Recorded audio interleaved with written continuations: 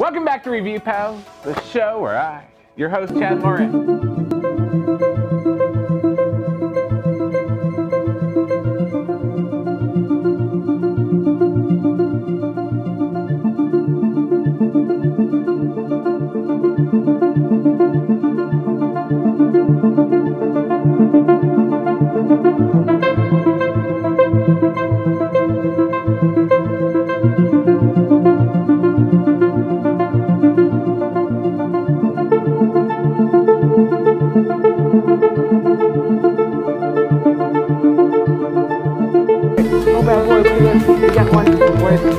on already.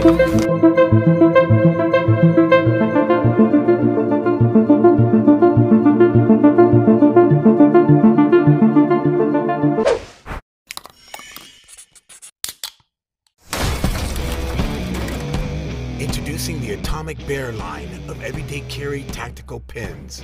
A collection of high functioning, utility I don't know if driven. you see all that, but that's kind of cool. You know, people find different ways band. for, fidget spinners. grip You ballpoint know, as a person who fidgets around a lot, I could use something like this. I'm kind of A a, tactical pen that gives you riding a smooth I'm one of those sort of guys. finish. The MTP 6 Uh, I like the Star product. If you like fidget spinners, you like this. If you fidget too much, I think you would like the product too.